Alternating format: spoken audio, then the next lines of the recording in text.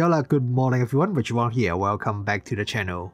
Today we are checking out the brand new Laowa 180mm f4.5 1.5 time ultra macro APO lens. I have reviewed quite a few Laowa macro lenses on this channel before and they all delivered excellent performance. So I'm pretty excited to see how this latest macro lens from Laowa holds up. And before we start, I want to tell you the lens sample for this review was sent to me by Laowa. I do have to return the sample after the review and I did not receive any money for this review as usual. But I do have an affiliate link in the video description below, so if you want to purchase this lens, you can use the link to support my channel. I just want to make sure everything is clear before we start.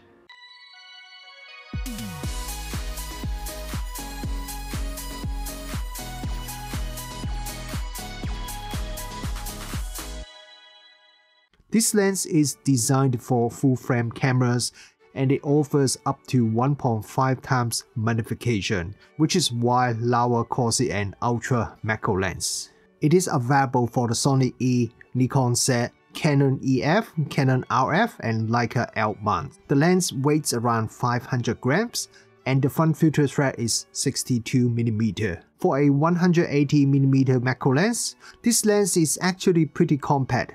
In fact, it is noticeably smaller and lighter than my Laowa 100mm f2.8 macro lens. If this lens sounds a bit familiar, it's because it's based on Laowa short 180mm cine lens. Optically, they are the same. The cine version retails for 1,499 US dollar, while this stills version is only $499, about one third the price. That already makes it sounds like a real bargain.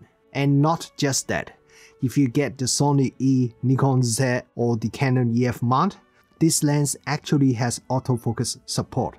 Well, technically is some kind of hybrid half autofocus system but I will come back to that a little bit later. With this mount, you also get electronic contacts, so you have full EXIF data and aperture control directly from the camera body, including auto aperture support. For Leica L and Canon RF, unfortunately, it is a fully manual lens with no electronic support.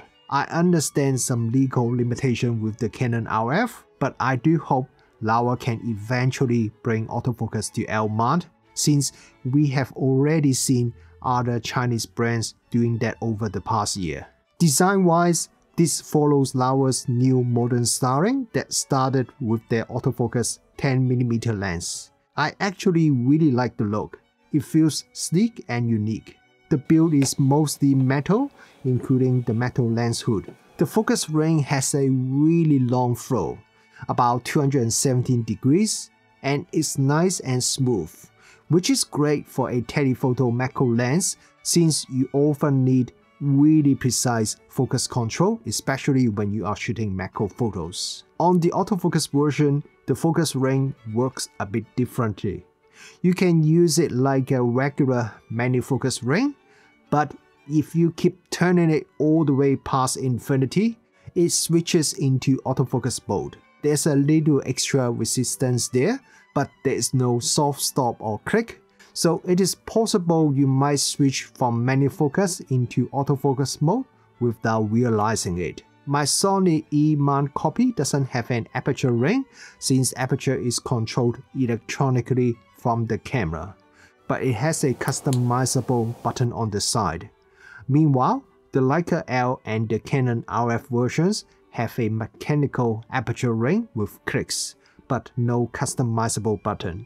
And while this isn't a weather sealed lens, Laowa did add a rubber gasket around the mount to help keep dust and moisture from getting into the camera body. Last year, I tested Laowa's very first autofocus lens, the autofocus 10mm f2.8 Zero-D. Then they released the autofocus 12mm not long ago, autofocus on those lenses work really well, but to be honest, at such wide focal lengths, it's not exactly a big challenge. Now with this 180mm macro lens, it gets a lot more challenging.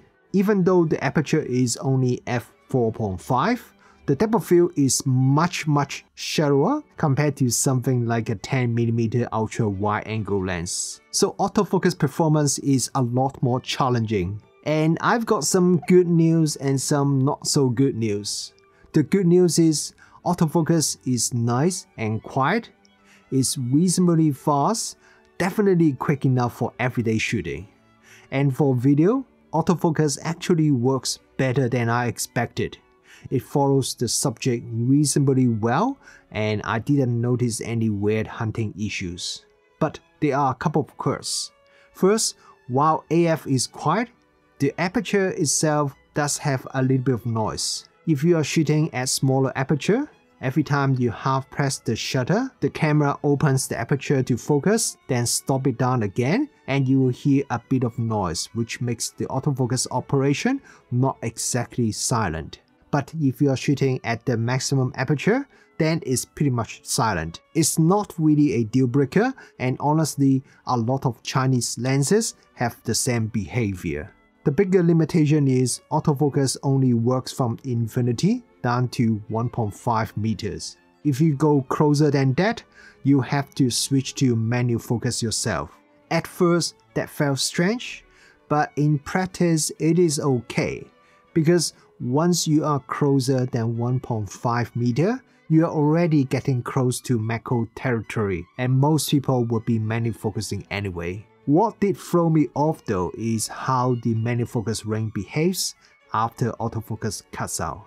Let's say you are in autofocus mode, you move too close, then you switch to manual focus. The focus doesn't just continue from where autofocus left off, instead it jumps all the way to infinity first, then as you keep turning the ring, it finally moves toward close focus. It's a bit odd the first time you experience it, and it does take a little getting used to. In terms of focus breathing, yeah, there's quite a bit when you rack focus between around 1 meter and 20 meters.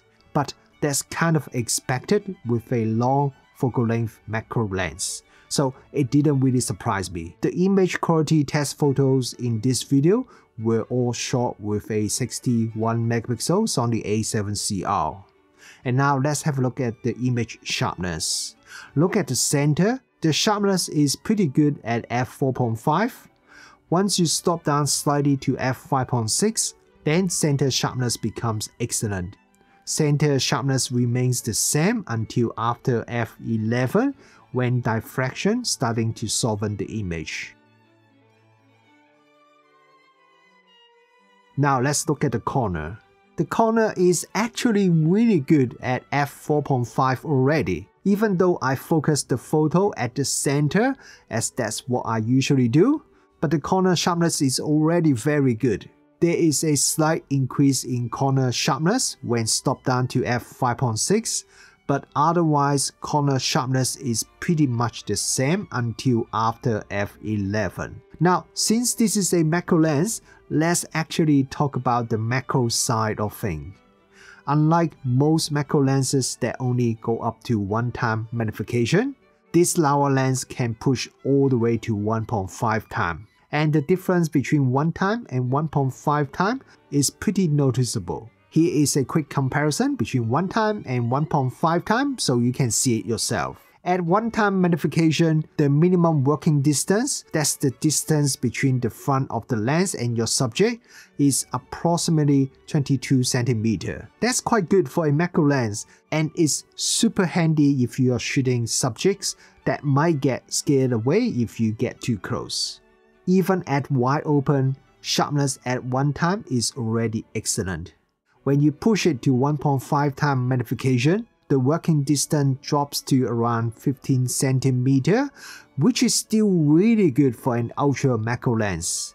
You still have a decent gap between the subject and the front of the lens. And just like at one-time magnification, the sharpness at 1.5 time is also very impressive, even when shooting at wide open f4.5 aperture. With the 180mm focal length, it's pretty easy to blur out the background completely, especially when you are shooting close-up photos. The bokeh is nice and round, and it stays that way even when you stop down the lens a bit. Check out some of these shots. I think the background rendering looks really pleasing. When I used this lens for some close-up portraits, the background bokeh also look quite nice. There's a slight swirly effect near the edges, which actually adds a bit of character that I personally like. Now, if you are shooting subjects from further away, the background doesn't melt away as much. In those cases, the bokeh balls can sometimes show a little halo around the edge. It's not terrible or overly distracting, but it's definitely not as smooth as what you see when shooting close-up or at macro distance. The lens has really good vignetting control. Even with vignetting correction turned off on the camera, there is still only a small amount of vignetting at f4.5. Once stop down to f5.6, then vignetting is almost not noticeable. And if I enable vignetting control, then the amount of vignetting is even smaller. Chromatic aberration control is quite decent with this lens. Most of my photos, including my local test photo, shows almost no color fringing at all, which is pretty impressive. Only some really high contrast photos, I do see some minor chromatic aberration. But remember I'm testing with a 61 megapixel camera, so I think the result is still pretty decent. Distortion control is excellent. I don't see any noticeable distortion even in my brick wall test photo. So distortion definitely isn't a problem at all with this Laowa lens. Lens flare control is okay with this Laowa lens. Most of the time I don't really see much lens flare or ghosting, but I do see a bit of lens flare when there is a strong light source at some particular angle. To get sun stars with this lens, you do need to stop it down quite a bit, around f11 or smaller. If you stop down all the way to f22, the sun stars get nice and sharp, and they actually looks pretty good. Since this lens has a 9 braid aperture, you get 18 point sun stars. While long focal length macro lenses can be a bit more limiting compared to the more common 60 to 100 millimeter macro lenses, they are really useful when you don't want to get too close to your subject or if you want to use compression to create a different perspective. I've always wondered why there are not more macro lenses longer than 100mm focal length. So I was pretty excited when Laowa told me about this new lens, especially since it goes up to 1.5 time magnification. Image quality is classic Laowa, very good overall, sharp from center to corner, with nice rendering. There are only a few minor flaws, nothing I'd call a deal breaker. I also really like how compact this lens is. And I was also excited to hear this is an autofocus lens because in my opinion, Laowa has been a bit behind in this area, while most other Chinese brands have really focused on autofocus over the last year. Autofocus performance is decent overall, but the hybrid autofocus manual focus operation can be a bit confusing at first. I understand that designing an autofocus macro lens, especially one with 1.5 time magnification, is challenging. But I hope in the future, Laowa can make a fully seamless autofocus version that will make it more appealing to beginners. Anyway, if you are a macro shooter looking for a longer focal length, you should be happy with this Laowa 180mm 1.5x ultra macro. It delivers solid performance and it will be a really unique lens in your macro kit.